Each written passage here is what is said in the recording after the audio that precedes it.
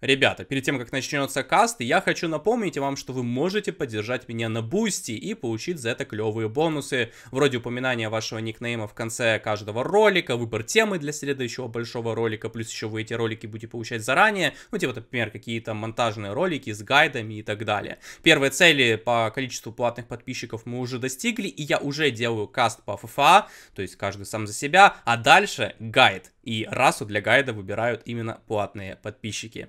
Ссылка в описании. Спасибо за вашу поддержку. Тромка, друзья. Азиатские игроки очень радуют своей адаптативностью. То есть вместо того, чтобы пытаться надеяться на идеальное исполнение, они очень часто пытаются придумать какие-то нестандартные пути решения проблем.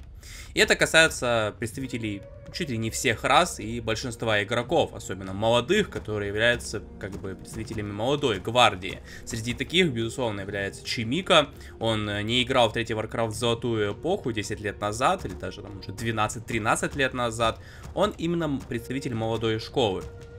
С другой стороны, Кауэрфу, также не игравший во времена Золотой Эпохи, по крайней мере на профессиональном уровне, и вот прямо сейчас эти два игрока столкнулись в рамках э, DreamHack Summer 2020. К счастью, организаторы наконец-то поделились реплеями. И мы посмотрим, как игроки здесь будут пытаться как-то адаптироваться друг к другу. Карфу вообще сильно отличается от всех э, подходом к стратегиям на определенных картах, потому что, например, он здесь на карте Concealed Hill берет Демон Хантера, что, поверьте мне, чрезвычайно необычно, потому что об этом герое пытаются не вспоминать игроки из эльфов, так как он считается слишком слабым против Альянса, так как его легко запушить, он очень поздно реализовывается, и поэтому его пытаются не брать. На карте Concealed Hill ты просто не сыграешь Варден, а Хранитель Рощи просто Каорфу его не очень сильно любит и пытается играть другими стратегиями. И вот так и оказывается, что последним героем, которого можно взять, остается Демон Хантер. И посмотрим, как он его реализует. В любом случае, он ставит уже второй колодец, то есть у него будет чуть больше юнитов перед тем, как он нажмет тир 2. Он не форсит технологии, что отличает его от общей массы игроков. Здесь же, с другой стороны, Горный Король. И это тоже необычно. Потому что вроде как Чимика должен догадываться о том, что там, скорее всего, Охотник на Демонов, потому что это Кауэрфул. Но Горный Король очень плохо реализовывается, по крайней мере, на долгой дистанции против Демон Хантера, потому что Горный Король очень сильно зависим от маны. И если у него не будет маны, он будет просто очень толстым, но прекрасным бородатым крипом. Но, как бы, посмотрим в любом случае. Крипинг уже нестандартно начинается, потому что мы видим, что он решил покрипить с самого начала лабораторию. И заметил это, понятное дело, Каурфу, потому что рядом были виспы. Он только сейчас заметил, что тут был горный король, он изначально думал, что это Арахимаг, поэтому подвел виспов для того, чтобы рассеять элементали и получить халявный опыт, но в итоге как-то не получилось. И теперь Демон Хантер боится стоять рядом со своим оппонентом, потому что он понимает, что он получит молот в лицо и будет окружен, поэтому он играет аккуратно. Большая банка неуязвимости выпадает Кауэрфу, здесь же когти атаки плюс 6, что тоже так-то дроп неплохой, понятное дело, но сейчас уже непонятно, что делать, так как э, полная свобода от Чимика боится окружения Каурфу, поэтому он даже и не подходит. Он играет максимально аккуратно и деликатно. Для того, чтобы не на, э, разгневать своего оппонента, потому что молоток тема опасная, это я вам точно могу сказать. Горный король специально встал внутрь, для того, чтобы было сложнее выжечь ему ману. Мантию интеллекта забирает, теперь у него больше маны на молотки. И в итоге Каурфу, ничего не добившись, возвращается обратно. Нехватка информации и разведки. Он слишком поздно узнал, что там горный король, и в итоге он просто так потерял время. И вот таким вот образом, как-то вот тут странная ситуация, да? Вроде как с одной стороны кажется, что Демон Хантер контрит горного короля, а с другой мы видим, что это вообще не так, по крайней мере, на раннем этапе. И прямо сейчас отправляется Чимика золотую шахту крипить. Заметил это Каурфу с помощью виспа. Разведка все-таки у него неплохая, стоит это отметить. Но, возможно, он слишком поздно сейчас будет подходить, потому что ключевые крипы уже умерли. Третий уровень у Горного Короля, второй молоток, и, возможно, сейчас будет окружение. Ой-ой-ой, какая ошибка, какая ошибка. Чимика, он должен будет тут окружать вражеского героя. Ну да ладно, возможно, это не будет ничего означать. Если он сейчас еще раз закинет молоток, если сейчас будет окружение, такое ощущение, что не будет, да. Ну, плохой микроконтроль, откровенная чимика в этой ситуации. Выпадает ему заслуженный хрустальный шар. который будет греть его душу в такой ситуации. Т2 в это время уже давным-давно нажал Кауэрфу, и скоро будет она готова. И, соответственно, у него пойдут технологии, в частности, триады. Возможно, он сразу же зафорсит Т3 и попытается выйти в медведи. Такая вероятность тоже присутствует. Ну, в итоге, да, Чимика абсолютно спокойно ставит дополнительную базу и будет здесь кое-как жить. Что тут еще можно сказать, действительно. Демон Хантер второй, ему нужно где-то третий взять со вторым выжиганием маны. Горный король, по сути, сможет в бою кинуть максимум один молоток, при очень хороших обстоятельствах два но точно не больше. И агрессивно прямо сейчас играет Чимика, потому что он пытается прийти на половину карты противника для того, чтобы его база точно начала работать, и при этом, чтобы там не нужно было ставить кучу башенок. Слушай, а здесь может быть окружение, куча пехотинцев. Снизу проход же будет, нет? Да? Нет? Нет, все, да, действительно, но просветы. А, хрустальный шар душу греет, да!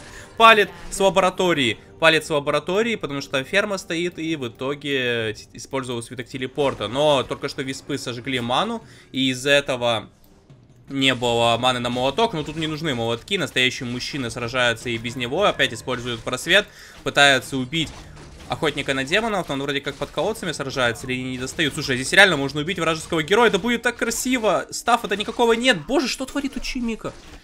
Как же агрессивно он играет, как же красиво он окружает. Это, это работает, что самое главное. Ну, больше он тут ничего не должен забирать. Разве что, если повезет на какой-то баш, наоборот, он теряет пехотинца, но в любом случае, опять же, вся эта ситуация выгодна для Чемика, потому что он реализовывает пехотинцев. Они очень быстро потеряют свою актуальность.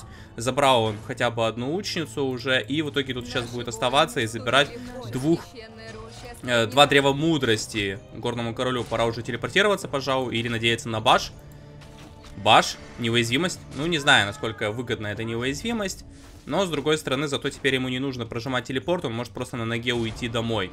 Но таким образом он оставит своих парней-пехотинцев. Одно древо мудрости было отменено. Скоро наполовину герой уже вернулся. Вестник ярости. Наверное, так его имя переводится. Слушай, опять молоток. Не, ну горному королю пора уже телепортировать, значит он погибнет. Да, прожимает телепорт. Успеет добить Нагу. Успеет добить Нагу! Да ладно! Не, не успеет. Ну, да. Вот такой вот агрессивный playstyle Чемико. Вот такие вот новые стратегии за Альянс. В это время уже нажал Т2, ставит лесопилку для ускорения дерева добычи, нанял Крошера. Здание готово. Поздно ставит магазин, повербиудит, из этого теряет ресурсы, ну да ладно. Свиток регенерации. Демон Хантер только сейчас вернулся. Просто, знаете, когда ты играешь что-то необычное, сила этой стратегии не только в том, что, как бы, это какая-то просто сильная стратегия сама по себе, а в том, что противник не знает, что происходит с высокой долей вероятности. А если он не знает, что происходит, он начинает хуже играть. В этом суть не стандарта. Особенно, когда не стандарт имеет сильный фундамент под собой. Горный король на Concealed Hill — это, мягко говоря, необычная стратегия. И при этом, знаете что, меня удивляет отсутствие кузницы у Альянса. Он не ставит кузницу. Это значит, что он не будет делать стрелков. Неужели он планирует играть маскастеров, или, может быть, он сразу же будет форсировать Т3 ради каких-то рыцарей, и кузницу просто позже поставит. И Чимика приходит вниз для того, чтобы уничтожить древо жизни, потому что он понимает, если Каурфул не играет агрессивно, это значит, что где-то ставится дополнительная база. Это очевидно, но с другой стороны, все равно посчитать этот красивый момент, тогда, когда именно нужно атаковать, когда строится база, это все равно как бы очень хорошо. Это очень сильно повлияет на матч, потому что база Каурфуа здесь будет просто уничтожена. Или нет? Дирижабль прилетел, древо жизни, да, уничтожено, Висп хотя бы не был потерян, это хоть что-то. Пытается разобраться с Демон Хантерами, зелье лечения, если что есть, как и став, поэтому герой не должен умирать. Потихоньку забирает одного юнита за другим, но там в основном просто дриады и учницы, и поэтому долго живут очень пехотинцы, так как у них есть щиты, а под щитами жить можно долго. И в итоге пора уже отсюда, пожалуй, уходить. Если заберет хотя бы одного юнита, будет хорошо. Но в любом случае, самое главное, что он забрал древо жизни. Поэтому никакого экономического преимущества у эльфа, даже не то что преимущество, а просто какого-то дополнительной экономики у эльфа не будет, поэтому он будет отставать по всем фронтам. Он не смог запушить, он не смог поставить дополнительную базу. Мягко говоря, ситуация катастрофическая. Он пытается играть в технологии, но из-за того, что он поставил рано второй колодец, у него будет позже технологии. То есть у него уже должен быть этот Т3 здесь, например, и медведи должны были уже производиться. Но посмотрим, может он с медведями сможет запушить. Тут Т3 сразу же делается и ставится. Два авиария дамы и господа. Это масса воздуха против ночного эльфа за альянс на карте Concealed Hill. Кузницу в итоге все-таки поставил и делает грейды для э, дракондоров и грифонов. И куча башенок дополнительных у него есть везде. Ух, но вообще масс воздух, понятное дело, на этой карте очень хороший за наличие фонтанов. Легко очень отступить туда и восстановить здоровье. Э, плюс еще много леса, много воды, где можно так вот летать, спасать, юни... спасать юнитов. Тем более, что у эльфов э, контроль только в виде дриад есть там условно, и, но как таковых сеток нет, поэтому можно таким образом хорошенько спасать юнитов за альянс. Но основная проблема в том, что Каурфу просто не понимает, что происходит. Он просто не осознает, что происходит. Тут по один вторым героем вышел. Это для того, чтобы было лечение. Но самое главное аура. Для того, чтобы юниты воздушные жили. Вообще, надо будет даже сейчас уже без Т3 добавлять пару дракондоров, даже, возможно, там 3-4, для того, чтобы была стрелковая атака против дриад. В это время эльф пытается покрипить прогнал виспа. Эльф пытается покрипить центр, для того, чтобы с Ограорда взять какой-то крутой артефакт. У него Демон Хантер уже третий. Нагу хочется до третьего прокачать, и он это сделает. И тут выпадает плюс 4 ловкости, плюс 4 интеллекта. Ну, для Наги дроп неплохой, понятное дело. Чуть выше скорость атаки. Чуть больше урона, чуть больше маны. Но, понятное дело, хочется какую-то ауру. Любую ауру, если быть точнее. За ночных эльфов любая аура хороша. Абсолютно. Разведка бесконечная от Альянса. Сфера яда. Поэтому теперь Демон Хантер наносит колоссальное количество урона. Пытается прокачать Горного Короля, тут уже четвертого уровня, паладина хотя бы до третьего прокачать. Три авиария, кстати, суммарно. Пока что юнитов не заказывается. Наконец-то заказал. И сразу грифонов, без дракондоров, что удивительно. То есть он совершенно не опасается дриад, но, видимо, он считает, что его наземной армии более чем достаточно в такой ситуации. Делает второй грейд на атаку. Грифоны очень хороши против медведей. Они буквально разваливают за секунду их. И в центре пытаются поставить древо жизни. Здесь Кауэрфул. Чимика пытается этому помешать. И, скорее всего, Чимика будет в этом плане здесь успешен. Потому что... Блин, у него нет телепорта, кстати. Ему придется неуязвимость нажимать. Слушай, не, ну он нажмет неуязвимость. Странно, что не нажимают. Свиток исцеления прожал только что. Отменяет все-таки в итоге и улетает на дирижабле. Дирижабль стафнул с помощью своего посоха спасения. Грифоны. Первые уже готовы. Ставят кучу дополнительных ферм. Грейд для грифонов. И на их молоток, чтобы он сплошовал, то есть бил по площади. И 2-2 грейды скоро будут. И опять ставит древо жизни. Как же жестко Чимика контролирует своего оппонента. Прям Чимика контролер. Куча башенок, поэтому просто так сюда не зайти. На халяву отдал триаду. Очень плотная застройка, поэтому к рабочим не зайти внутрь и не поатаковать. Кауэрфул просто сыпется. Посмотрите на это. Кауэрфул просто сыпется. В этом сила таких стратегий. Наши воины вступили в бой. И самое главное, не, не стандарты подобные работают даже игроку, против игроков высокого уровня. Просто игроки высокого уровня, высочайшего имеется в виду, прям максимально высокого, вроде там Инфи нынешнего чемпиона мира, Лина, Муна. Просто они быстрее найдут ответку и меньше будут паниковать. Но все равно будут, потому что если ты не знаешь, что происходит, ты не можешь грамотно реагировать на действия оппонента. Ну, Кауэрфу сейчас нужно навязывать бой для того, чтобы его древо жизни в центре как-то поставилось. У него очень мало медведей. В любом случае, прямо сейчас у него хороший тайминг для атаки, потому что грифонов пока не очень много, нет дракондоров, а он их заказывает прямо сейчас для того, чтобы воевать с дриадами. Но дриад, понятное дело, так отдавать нельзя, он уже две дриада отдал на башню. Почти мертвый горный король, он прожимает неуязвимость, супер мало хп у Демон Хантера, но его только что стафнула Нага. Дракондеры вылетели, у них 2-1 улучшения, она после их телепортации возвращается. Став, ну, должен был стафать медведя по факту, но не смог. Два стафа, я так понимаю, у Альянса, да? Нет, всего лишь один, просто тот кадешнулся. Вышли ополченцы, пытаются дать бой. Пытается добить Дракондора, но не получается. И в итоге эльф вынужден отступать. Но самое главное, что он древо жизни в центре поставил уже. То есть оно уже готово и уже оплетается рудник. То есть худшее позади. Хотя, конечно, хотелось поставить эту базу значительно раньше, еще снизу справа. Но как-то не получается. Постоянно отводит дриад на фонтаны. Это, понятное дело, выгодно, потому что дриады мобильные, быстрые. Но тут уже хочется древо ветров поставить и все-таки сделать э, гипогрифов. Потому что без них будет тяжко воевать с масс-воздухом только дриадами. Но он пока что этого не делает, он просто заказывает дриад. Ну, в целом, на этой карте дриады, конечно, хороши, опять же, из-за фонтана. Не было бы фонтана, дриады были бы слабыми, потому что негде было их лечить, ты фонтанами не напасешься в такой ситуации, так как у них еще и мана есть, и надо ее бесконечно также восстанавливать, а это дорого, скажем так. 2-2 улучшения, третье пока что не заказывает. Гигантская толпа юнитов пытается отменить оплетение рудника, и это получится, поэтому золото будет добываться позже. Но за это он расплатился дракондором и дал четвертый уровень Демон Хантеру.